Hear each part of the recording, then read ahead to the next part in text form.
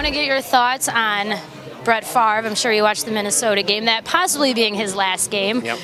The guy's 40 years old. He's getting knocked and down left and right. I mean, what kind of resilience do you think he has? Um, the guy's a warrior. He's amazing. Um, obviously, Hall of Fame talent and you know just all world talent. And to be 40 and have one of the best seasons of his you know NFL career just really speaks volumes of what the guy is capable of doing and and how he just basically puts his all into his craft of football.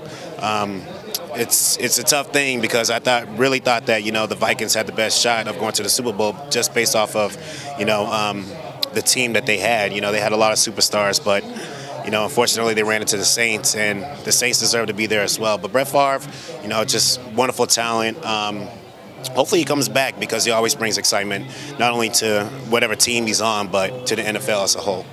It's kind of like Jay Z. He can retire and come, back, come back. and still be on top of his game. It's it's it's pretty amazing that he can yeah that he can do that after so many years, you know. And you know, football's a, a tough sport. It's a contact sport, and uh, injuries happen all the time and things like that. But he's overcome a lot of adversity, and he's put himself in, in positions to to really you know be a competitor and win uh, another championship. So it's good to see that.